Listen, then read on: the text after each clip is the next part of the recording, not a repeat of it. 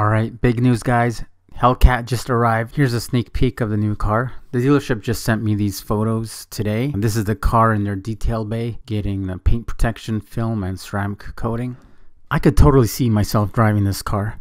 That's what I would look like. Here you can see the paint protection film being applied to the hood. I just get chills seeing that sold sign.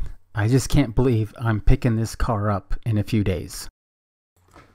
Okay, so this car has the black exterior badging option. So you get the black Hellcat logos on the side and the logo on the front grille is also blacked out, which I think looks really good. With that comes the black tips and you can see it's got the red interior.